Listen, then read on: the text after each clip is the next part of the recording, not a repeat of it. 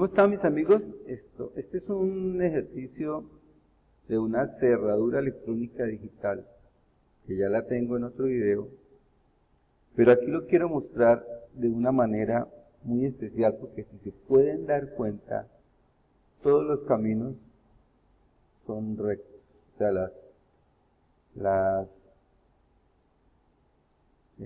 desviaciones que tiene no se hacen con codos, sino se hacen rectos. Y aquí, por ejemplo, podemos notar cómo los segmentos están conectados entre sí en este display. Eso obviamente facilita el entendimiento del circuito. ¿Cómo se hace eso? Es importante entender porque cuando yo pongo un, cable y doblo, hago un clic y sigo, no queda como si fuera, no fuera, no queda recto, sino queda codo. Entonces, ¿qué sucede? No, muchas veces eso va a hacer que la conexión quede muy enredada, difícil de entender. ¿Cómo se hace en Tinkercad para que el cable quede recto? Cuando yo hago la desviación, tengo que dar doble clic. Si hago doble clic, queda recto. Pueden observar ustedes que en este caso quedó recto. ¿sí? Lo que no sucede si se hace un solo clic al, al, Ahí se ve que queda es como una especie de codo, cosa que no, no facilita para que quede bien entendido el circuito. Aquí se puede notar cómo este circuito se logra entender todo muy bien, o sea, sabemos para dónde va cada una de las cosas. ¿Se ve? Ahí está. Bien claro, bien definido. Esta es la cerradura electrónica. Este inicialmente, la, clave es 1, 2, 3, 4, la clave inicial. Enciende el LED durante un segundo, es para abrir la cantonera y luego se apaga. ¿Sí? Aunque aquí, por ejemplo, en una cerradura electrónica no es conveniente que se vea el número que uno está teclando. ¿sí? Tendría que verse solo cuando se está haciendo cambio de clave para saber qué clave se pone. Pero, bueno, como se trata de un ejercicio académico, pues simplemente se hace así.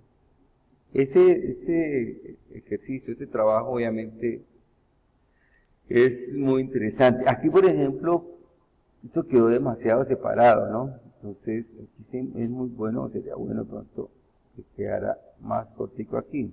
Pero aquí ya, entonces, se vuelve un poquito complicado. Así queda mejor. Este es como por mejorar de este circuito. Ahí estamos. Me gustan más las intersecciones rectas. Las intersecciones no, los, los, desvíos rectos. Aquí se ve mucho mejor.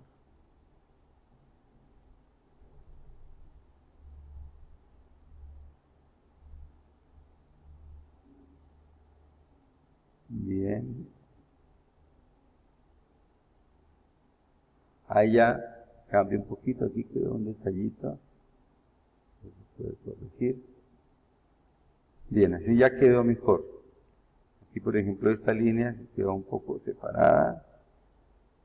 Entonces uno la, la lleva a su lugar. Listo. Bien.